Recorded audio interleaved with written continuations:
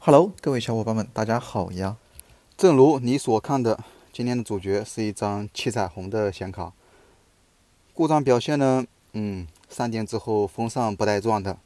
主板呢已经跑了亮机代码，但是屏幕没有任何显示，又是熟悉的不认卡。仔细看了一下，还蛮干净的，背面的防拆标签还在，没有被拆过，一修卡。拆开之后呢，我算是知道这个卡为什么会来我这里了，是吧？送保修不是没有理由的。板子上面一些关键的位置已经累积了厚厚的一层灰了，主要分布在核心供电以及显卡板子的左下角这个位置，还有接口附近，看到吗？这一层灰都可以抠下来了。还有右侧的显存供电部分，这个断裂的环境还是蛮恶劣的。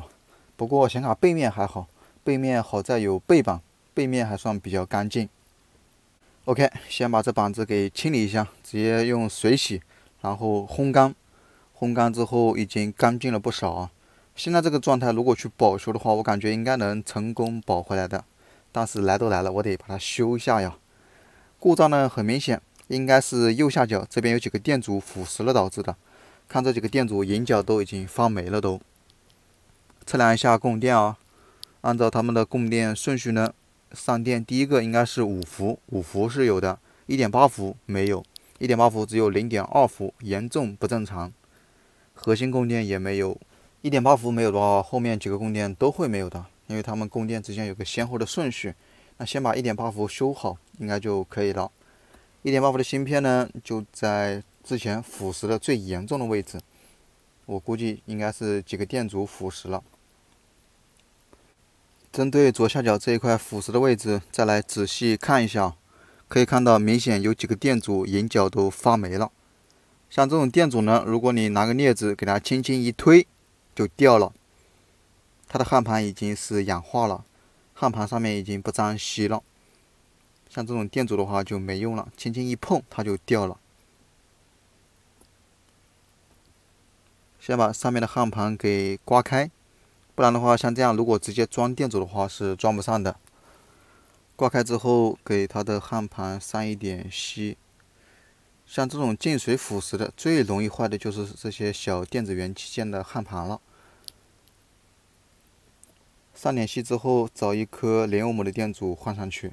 这个位置装的是零欧姆的电阻，是专门给一点八伏的芯片供电的，难怪一点八伏会没有供电。再来检查一下电阻焊的没问题，还有接口这边也同样有两个电阻也腐蚀了，这个引脚很明显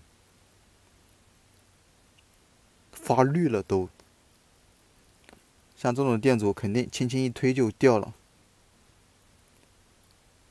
它都已经站都站不稳了，还是一样把焊盘给刮干净，然后上锡装电阻。其他地方再检查一下，没有看到哪里有腐蚀的痕迹了。再次给它上电，看一下一点八伏正常产生。一点八伏出来之后，那不用想，剩下的供电肯定都齐全了，一电出，百电齐。核心供电、显存供电都有了，供电齐全了，上机测试。先给它上机来看一下，不出意料。屏幕成功点亮，风扇也能转了，屏幕也能显了，系统也能进了，驱动也都驱上了。跑一遍测试看一下，像这种修供电的，一般不会有太大的问题。回去了一定得注意一下断裂的环境啊，像这种环境比较差的，还是建议经常拆开清理灰尘比较好，因为灰尘一旦积累多了，空气又潮湿。很容易腐蚀的哟。